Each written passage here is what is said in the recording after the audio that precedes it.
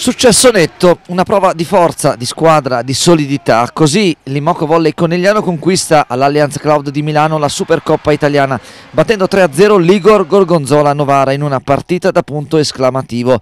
Non solo tanta Paola Egono, 26 punti a tabellino ed MVP della finale, ma tutto ruota attorno a Volos, capace con le sue alzate di mandare in tilt il gioco avversario. Novara ha sofferto il servizio delle Pantere, Brakocevic non è ancora al top, mentre dal centro Chirichella e Velkovic confermano buona intesa, ma non è bastato evidentemente alle ragazze di Barbolini per contrastare la forza delle Venete, perfette in ricezione con il 41% e costanti in attacco con il 45%. Sottotono invece l'attacco dell'Igor Gorgonzola che non va in doppia cifra con nessuna giocatrice. Decide il match dunque Paola Egonu, ma nei tre set Conegliano ha sempre dato la sensazione di gestire l'avversario. La stagione è appena iniziata, Conegliano e Novara hanno appena acceso i motori.